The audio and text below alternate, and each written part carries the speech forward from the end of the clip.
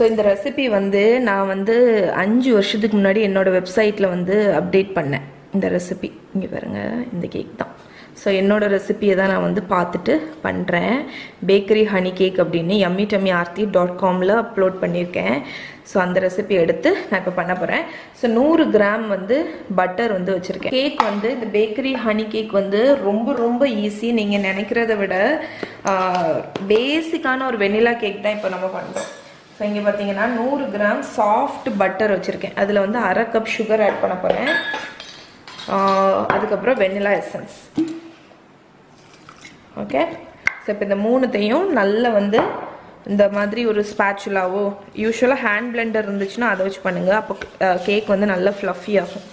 But நான் வந்து இன்றைக்கி அந்த மூடில் இல்லை. அதனால் இன்றைக்கி நான் வந்து சாதா ஒரு ஸ்பேச்சுலா வச்சு தான் மிக்ஸ் பண்ண போகிறேன்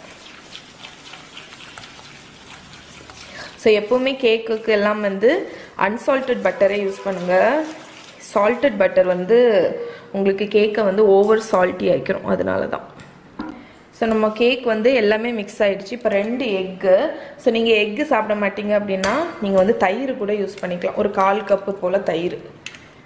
ஸோ ஃபஸ்ட்டு ஒரு எக் ஆட் பண்ணி அதை நல்லா மிக்ஸ் பண்ணிடுங்க ஸோ ஃபஸ்ட் எக் மிக்ஸ் ஆன second egg okay okay so இப்போ இதை நல்லா மிக்ஸ் பண்ணிடுவோம். ஸோ நம்மளோட வெட் இன்க்ரீடியன்ஸ் எல்லாமே மிக்ஸ் ஆயாச்சு. இப்போ இதில் வந்து ஒன்றரை டீஸ்பூன் பேக்கிங் பவுடர் போட போகிறோம் பேக்கிங் பவுடர் ஒன்றரை டீஸ்பூன் எதுக்கு தேவைன்னு பார்த்தீங்கன்னா கேக் வந்து அப்போ தான் நல்லா ஃப்ளஃபியாக சாஃப்டாக இருக்கும். ஒரு கப் வந்து மைதா மாவு தேவை. ஸோ ஃபஸ்ட்டு நான் இதில் வந்து ஒன்றரை டீஸ்பூன் பேக்கிங் பவுடர் போட்டுடுறேன் இப்போ வந்து ஒன்றரை டீஸ்பூன் பேக்கிங் பவுடர் வந்து யூஸ்வலாக நீங்கள் ட்ரை இன்க்ரீடியன்ஸோட மிக்ஸ் பண்ணி போடலாம். பட் நான் இந்த மாதிரியே போடுறேன். பட் நீங்கள் மைதா மாவில் ஜஸ்ட் மிக்ஸ் பண்ணிவிட்டு மொத்தமாக போட்டுக்கலாம். அதுக்கப்புறம் ஒரு பிஞ்சு சால்ட்டு ஓகே ஸோ இப்போ இந்த பேக்கிங் பவுடரும் இதையும் நல்லா மிக்ஸ் பண்ணிடலாம் இதில்.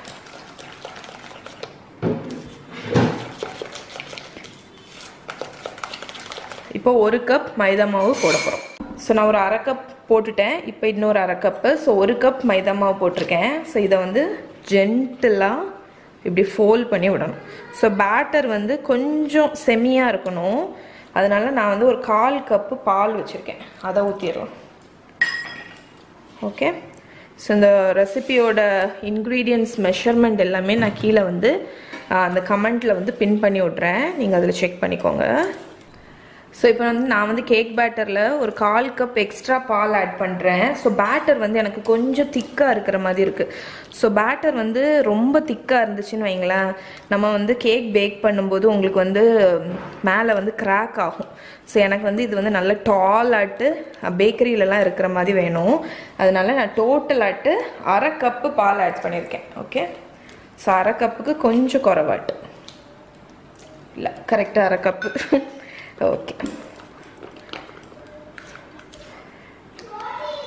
ஓகே.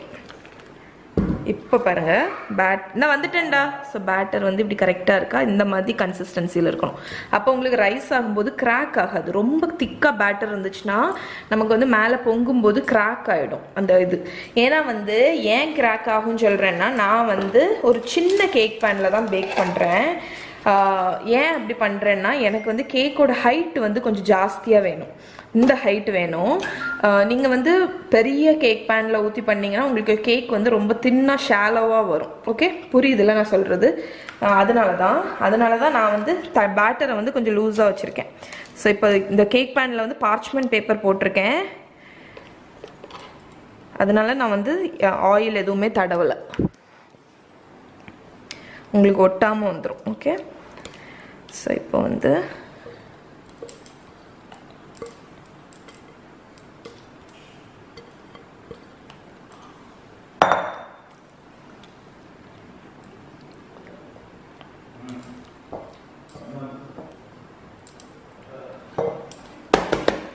ஸோ இங்கே பாருங்கள் இப்போ ஸ்மூத்தாக ஹாஃப் வரைக்கும் வந்திருக்கும். எப்போவுமே வந்து கேக் பேனில் அரை ஹாஃப் தான் ஃபில் பண்ணும். கொஞ்சம் வேணால் ஹாஃப்க்கு கூட ஃபில் பண்ணிக்கலாம். உங்களுக்கு கிராக் வராமல் பேக் பண்ணணும் அப்படின்னா. ஸோ இப்போ வந்து பேட்டரும் வந்து கொஞ்சம் தின்னா தானே இருக்குது அதனால நான் இந்த சின்ன கேக் பேனில் வச்சுருக்கேன். அதனால எனக்கு வந்து இந்த பேட்டர் வந்து பேக்கிங் பவுடர் போட்டிருக்கிறதுனால நல்லாவே ரைஸ் ஆகும் ஓகே அதனால நமக்கு வந்து பர்ஃபெக்டான ஹைட் வரும். ஸோ இது வந்து கிராக் வராமல் பேக் ஆகும்னு நினைக்கிறேன். ஸோ செக் பண்ணிடுவோம். ஒன் எயிட்டி டிகிரி செல்சியஸ் அவனில் வச்சு twenty twenty five minutes thirty minutes அவ்வளோதான் பேக் பண்ணி எடுத்துருவோம். ஸோ அவனை ப்ரீ ஹீட் பண்ணியிருக்கேன். ஸோ இந்த கேக் பேனை ஒரு நிமிஷம் இதை செட் பண்ணிவிட்டு ஸோ கேக் எப்போவுமே சென்டர் ரேக்கில் வச்சு பேக் பண்ணுங்கள் ஸோ நான் வந்து ஒரு டுவெண்ட்டி ஃபைவ் மினிட்ஸ் செட் பண்ணுறேன் டைம் கொஞ்சம் ஜாஸ்தியாகவும் ஆகலாம் குறைவாகவும் ஆகலாம் ஒவ்வொருத்தவங்களோட அவனை பொறுத்து. பட் கேக் பேனை சென்டர் அவனில் சென்டர் ரேக்கில் வச்சு பேக் பண்ணி எடுத்துருங்க. பாருங்க நம்ம கேக் வந்து டோட்டலாக வந்து தேர்ட்டி ஃபைவ் மினிட்ஸ் பேக் ஆச்சு. ஸோ நல்ல பயங்கர சாஃப்ட்டு ஸோ இது அப்படியே விட்டுருவோம். கூல் ஆகட்டும். ரொம்ப கூல் ஆகணும்னு இல்லை. ஸோ இது கூல் ஆகிற டைமில் நம்ம வந்து அந்த கேக்குக்கு மேலே உள்ள சாஸ் ரெடி பண்ணிடலாம். ஸோ இந்த சாஸ் வந்து நீங்கள் வந்து ஜாம் கேக் வந்து சாப்பிட்ருக்கீங்க ஜாம்லேயே ஹனி ஜாம் கேக் சாப்பிட்ருந்தீங்க அப்படின்னா உங்களுக்கு தெரியும் இந்த கேக்குக்கு மேலே ஒரு ஜாம் லேயர் இருக்கும். அப்புறம் வந்து கேக் வந்து நல்லா சிறப்பியாக ஒரு சாஸ் மாதிரி ஊற்றிருப்பாங்க மேலே வந்து கோகோனட் இருக்கும். ஸோ அதனால் நம்ம அந்த ஜாம் சிரப் வந்து இப்போ பண்ண போகிறோம் ஸோ நம்மளோட மிக்ஸ்டு ஃப்ரூட் ஜாம் இருக்குல்ல ஒரு கால் கப்பு போல். கூடவே நீங்கள் போட்டுக்கலாம். ஒரு அரை கப் அளவுக்கு கூட யூஸ் பண்ணிக்கலாம். ஸோ நான் இது பத்தாது. நான் இன்னும் கொஞ்சம் எடுத்துகிட்டு வந்துடுறேன். ஸோ இது வந்து உங்கள் ப்ரிஃபரன்ஸ் தான். உங்களுக்கு வந்து ஜாஸ்தியாக வேணும்னு நினச்சிங்கன்னா ஜாஸ்தியாக வச்சுக்கலாம். குறவா வேணும்னு நினச்சிங்கன்னா குறவா வச்சுக்கலாம். ஸோ ஒரு அரை கப் ஜாம் போட்டிருக்கேன். இதில் வந்து ஒரு ஒரு நா கால் கப் வரைக்கும் சுகர் போட்டுக்கோங்க.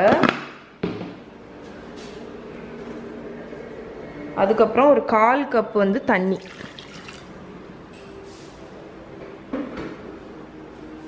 ஓகே ஸோ இப்போ இதை வந்து அடுப்பில் வச்சு ஹீட் பண்ண போகிறோம் ஓகே ஸோ இதை அடுப்பில் வச்சு ஹீட் பண்ணி எடுத்துகிட்டு வந்துடுறேன். இந்த ஜாம் வந்து உருகி இது வந்து ஒரு சாஸ் மாதிரி ஆகிடும் ஓகே ஸோ இங்கே பாருங்கள் நம்மளோட சிரப் வந்து கொதிச்சாச்சு. ஸோ இந்த சிரப் இருக்குது தெரியுமா? இந்த கேக் வந்து கம்ப்ளீட்டாக கூல் ஆகணும்லாம் அவசியம் இல்லை.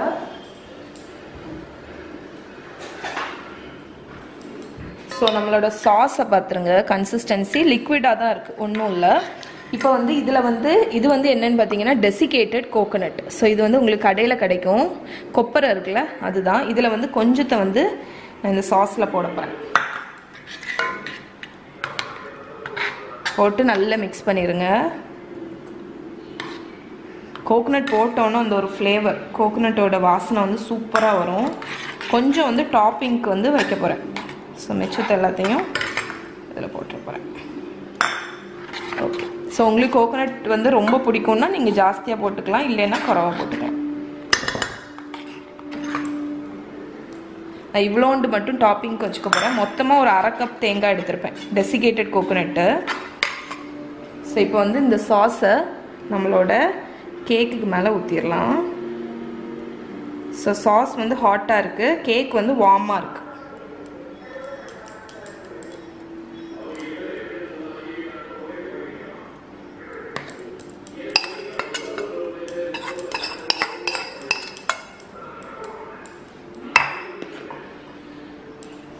ஸோ அந்த கேக் வந்து அந்த சிரப்பை வந்து அப்படியே ஸ்லோவாக அப்சர்வ் பண்ணிடும் ஃபுல்லாட்டு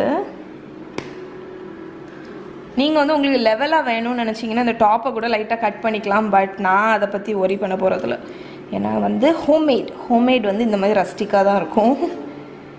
ஓகே ஸோ இப்போ நம்ம சிரப் ஊற்றியாச்சா இதை அப்படியே நம்ம ஃப்ரிட்ஜில் வந்து வைக்க போகிறோம் ஒரு டூ ஹவர்ஸ் நல்லா செட் ஆகட்டும். அந்த டைமில் இந்த கேக் வந்து அந்த சிரப்பை ஃபுல்லாக அப்சர்வ் பண்ணிடும் ஸோ டாப்பிங்க்கு வந்து மேலே வந்து ஒயிட் கோகோனட் போட போகிறேன் ஓகே அவ்வளோதான் இப்போ நான் இதை ஃப்ரிட்ஜில் வச்சுட்டு இது செட் ஆனோன்னு உங்களுக்கு இருக்கு. ஸோ இப்போ வந்து அன்மோல் பண்ணிடலாம். ஸோ இந்த சிரப்பை வந்து இந்த கேக் வந்து ஃபுல்லாக அப்சர்வ் பண்ணிடுச்சு. ஸோ இந்த கேக்குக்கு நீங்கள் பார்ச்மெண்ட் பேப்பர் லைன் பண்ணுறது வந்து ரொம்ப ஹெல்ப்ஃபுல்லாக இருக்கும். ஏன்னா இப்படி பார்ச்மெண்ட் பேப்பரை பிடிச்சி நீங்கள் தூக்கிடலாம். ஓகே ஸோ இப்போ வந்து ஸ்லைஸ் பண்ணிடலாம் கேக்கை நான் வந்து இப்படி நீள நீளமாக ஸ்லைஸ் பண்ண போகிறேன் ஓகே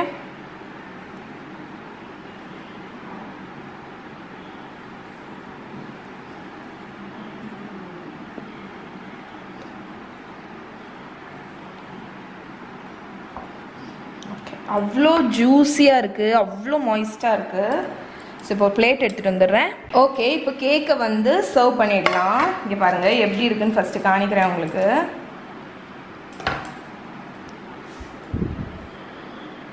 ஸோ எவ்வளோ மாய்ஸ்டாக அந்த சிரப் வந்து உள்ள வரைக்கும் இறங்கி டாப்பில் வந்து கோகோனட் ஜாமு எல்லாம் சேர்ந்து அவ்வளோ மாய்ஸ்டாக இருக்குது ஓகே நான் இப்போ வந்து நம்ம இதை சர்வ் பண்ணிடலாம்.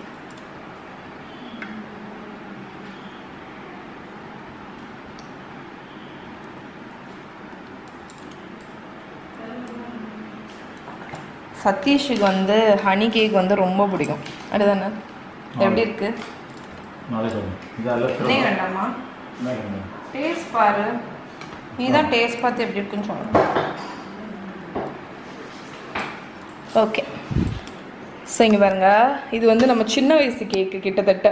ஸோ ரொம்ப நாஸ்டாலஜிக்கான ஒரு ரெசிபி சின்ன வயசில் வந்து ஹனி கேக் நான் இதெல்லாம் தேன் கேக்கு தேன் கேக்கு சீனி அது என்னன்னு சொல்லுவாங்க? இது ஹனி கேக்குன்னு தான் சொல்லுவாங்களா? இது வேறு தான் நேம் உண்டா? ஓகே ஸோ இங்கே பாருங்க. அவ்வளோ மாய்ஸ்ட்டு இந்த சென்டர் பீஸை காணிக்கிறேன் ஸோ கேக் வந்து அந்த சிரப் வந்து அந்த கேக்கில் வந்து அப்படி இறங்கி சூப்பராக இருக்குது ஸோ இந்த மெஷர்மெண்ட் எல்லாமே நீங்கள் வந்து கவலைப்படாதீங்க. நான் கீழே வந்து கமெண்ட்டில் பின் பண்ணி வைக்கிறேன். ஸோ உங்களுக்கு ஃப்யூச்சரில் செக் பண்ணால் கூட ரொம்ப ஈஸியாக இருக்கும். அப்படி இல்லைன்னா நீங்கள் என்னோடய ரெசிபி சேனலில் போய் பார்க்கலாம். Yummy Aarthi recipes Tamil. So அதில் வந்து இந்த ஹனி கேக்கோட ரெசிபி மட்டும் நான் ஷேர் பண்ணியிருப்பேன் அதில். ஓகே